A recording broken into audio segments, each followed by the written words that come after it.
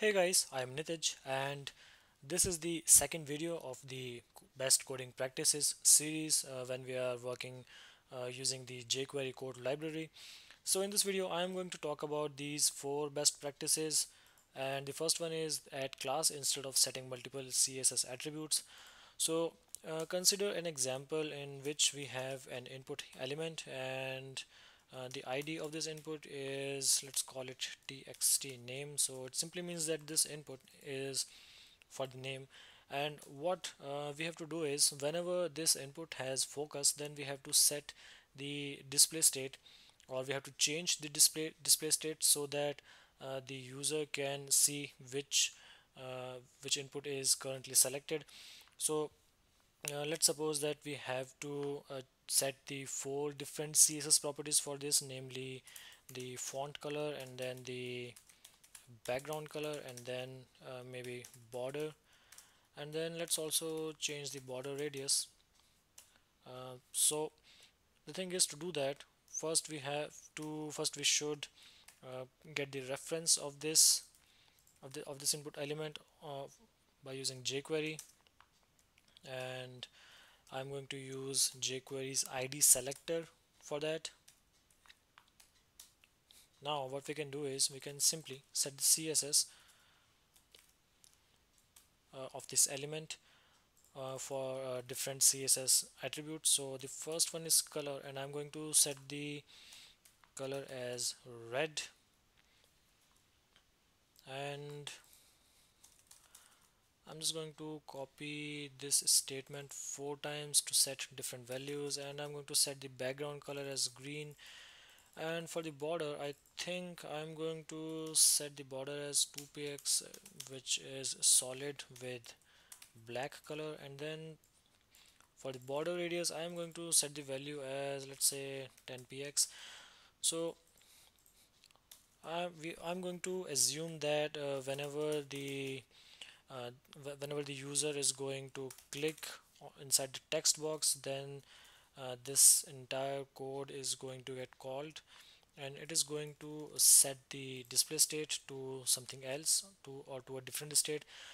So this code is not really bad in itself if we are going to use it for only once throughout our code but uh, things will get really awkward when we have to uh, reset the display state to its original state when the uh, when when the focus is lost from this input. And that is uh, you know really uh, not not very good way to write uh, to write the code or to set the display state. So jQuery has different ways to solve this problem. The first one is what we can do is instead of setting individual css properties uh, we can simply create a css style or a css class to do to do that. And so first I'm going to uh, create a CSS class and I'm going to name it um, let's call it uh, text focus. And inside this I am simply going to copy all of these CSS properties. And then I have to fix this code so that it is going to be compatible with the C, C style syntax.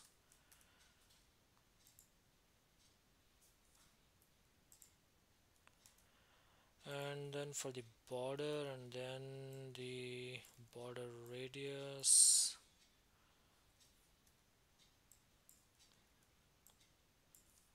and that's it.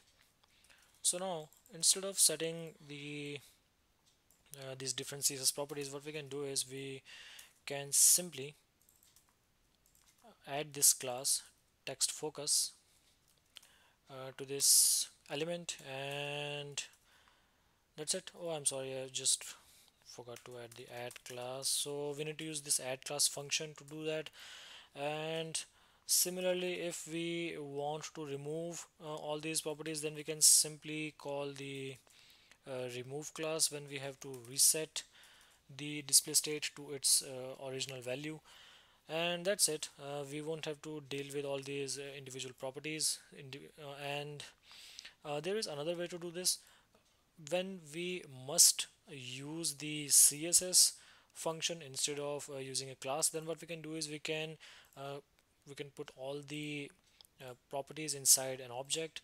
So for an example what we can do is let's call it var uh, css obj equals to now this is an object and inside this object we can simply uh, we can simply put all these properties and then we can later uh, send this object as an argument. So all right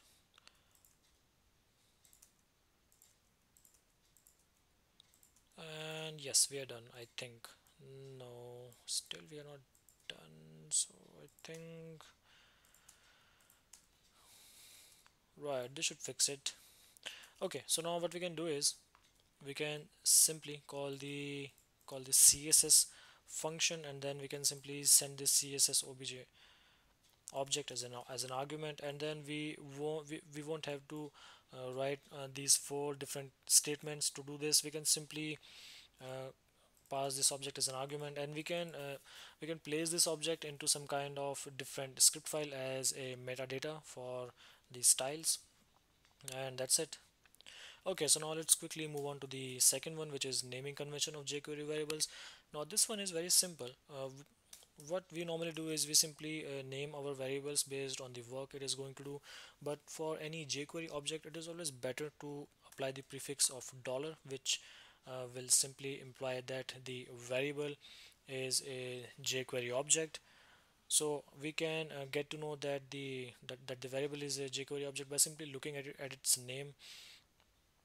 And so yeah and then we can you know select some element based on any selector value and that's it. So this is another good practice. The third one is use javascript to find elements for simple selectors.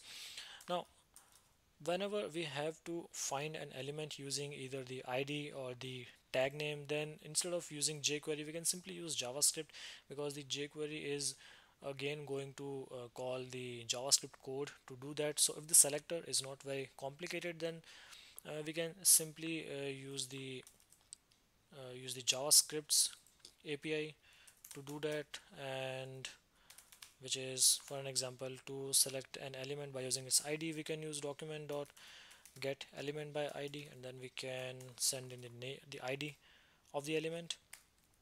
And then we can do a lot of different stuff although the thing is that we won't be able to access the jQuery's APIs when we are selecting an element using the uh, JavaScript API so if you are planning on using uh, Java uh, jQuery I'm sorry jQuery's features then you must select the object or the or the or the DOM element using jQuery.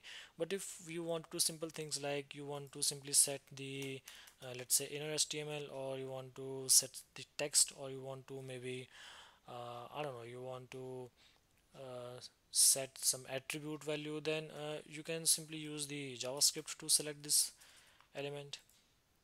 So the fourth one is using jQuery as an argument.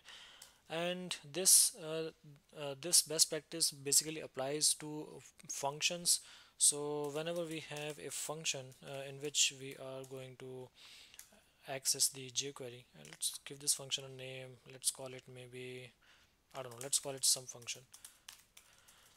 So the thing is that whenever we need to access the jQuery in this some function then it is always a better practice to send the jQuery as an argument uh, whenever we are going to call this function because the reason for doing that is uh, whenever any code inside this function will uh, will access the jQuery object then it will first look inside its own scope.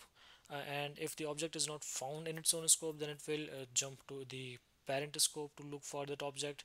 So uh, this jumping to towards the parent scope uh, is kind of a performance hit.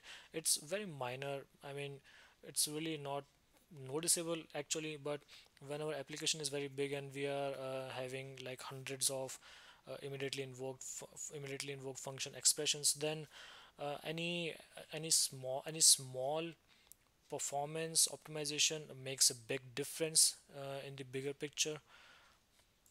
So uh, whenever we are using jQuery in a function or in a module it is always a good practice to send the jQuery object as an argument. So if we have for an example a self-executing function which is also call, called as an immediately invoked function expression then uh, you might have seen that the structure is uh, that people the structure that people uh, generally use is there is the argument for the jQuery and then for the document and sometimes for the window and then there is the undefined also. And then when this immediately invoked function expression is being called then we are simply uh, passing the values as an argument so the reason for that is they simply uh, give a very small performance gain which becomes uh, noticeable when the application is very big. And this approach can also be used in the ready functions of the document. Because if we have hundreds of pages and we are using document.ready for all those pages then what we can do is we can simply send the jQuery as an argument whenever we are invoking it.